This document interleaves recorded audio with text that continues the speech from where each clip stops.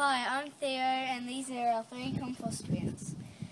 The first stage is, of making a compost bin is you have a little bit of compost and a few rooms in it, ready to put all your organic waste and kitchen scraps like used paper, oranges, orange peels, banana peels, and apple cores and so on.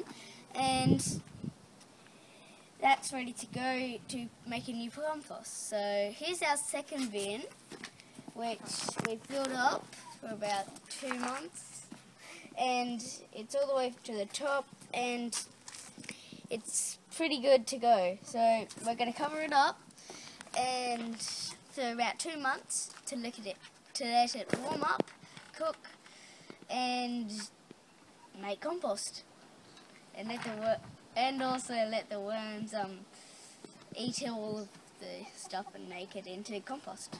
Here's our third bin, which is our final compost, which is ready to put in the ground and use until you start a new compost.